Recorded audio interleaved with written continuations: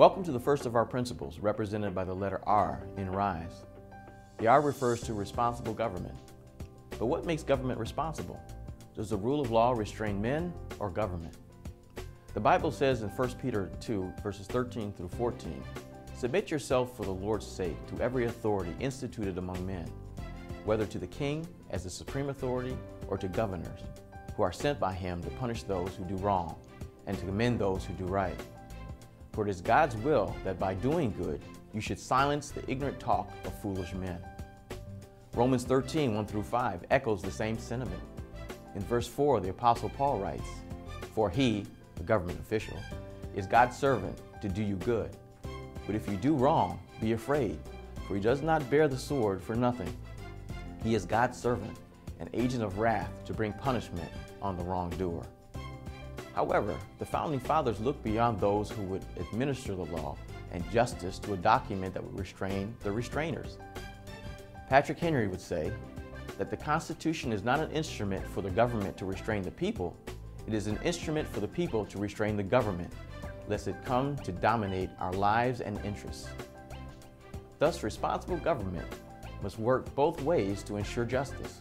The overreach of government brings tyranny, while the lack of sound laws invites anarchy. So responsible government, under the RISE principles, argues the following. Citizens deserve a government which is fiscally responsible. That waste, fraud, and duplication in government must be eliminated. All monetary transactions, except for classified operations, should be transparent. Public debt, except for infrastructure, should be avoided. Government budgets should fit within existing revenues.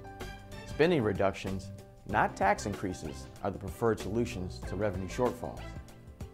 Taxation should be restricted to the most minimal levels, and the burden of taxation should be spread as equally as possible among U.S. citizens. Taxation should never be employed for the purpose of redistributing wealth or restricting productivity, economic growth, or savings. Government policy should encourage self-sufficiency and promote the work ethic among citizens. Public funds should not be used to support persons who are capable, albeit unwilling, to provide for their own needs. Government welfare programs for the needy should strive to enforce the dignity of the individual and strengthen the family unit and encourage the individual's potential for self-sufficiency.